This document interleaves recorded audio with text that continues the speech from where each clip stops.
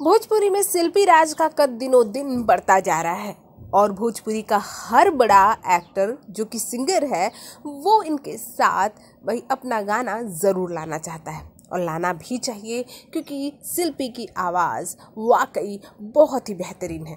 अब शिल्पी की आवाज़ के दीवानी अगर कोई हुआ है तो कोई और नहीं, भोजपुरी की यूट्यूब क्वीन कही जाने वाली ये आम्रपाली दुबे हैं। जी हाँ आम्रपाली दुबे ने यहाँ शिल्पी राज और श्वेता महारा का एक गाना सिलवटिया को प्रमोट किया है, उस पर रील बनाई है और फिर बहुत ही प्यारा मैसेज बहुत ही प्यारा मैसेज दिया है।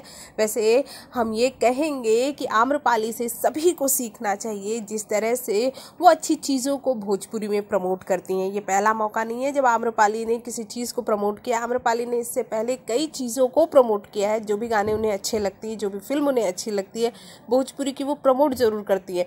यहाँ पर श्वेता महारा को बहुत ही खूबसूरत एक्ट्रेस और बहुत ही बेहतर बेहतरीन डांसर तो बताया है, साथ ही शिल्पी राज की आवाज़ को उन्होंने ये कहा है कि दिनों दिन वो शिल्पी राज के आवाज़ की दीवानी होती जा रही हैं।